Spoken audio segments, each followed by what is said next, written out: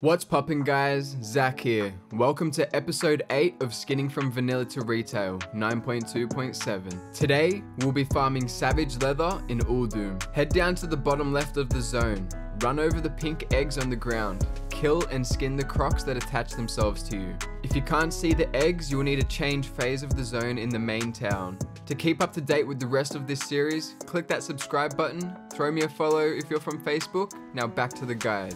After an hour of farming, I gathered just under 2.2k savage leather and 3 pristine hide valued at 9k. For my edge lords out there, I designed some merch. Check it out. When you receive your order, tag me on Insta. I'd love to see it. Thank you all for watching. Smash that like button for me. Until next time, good luck out there.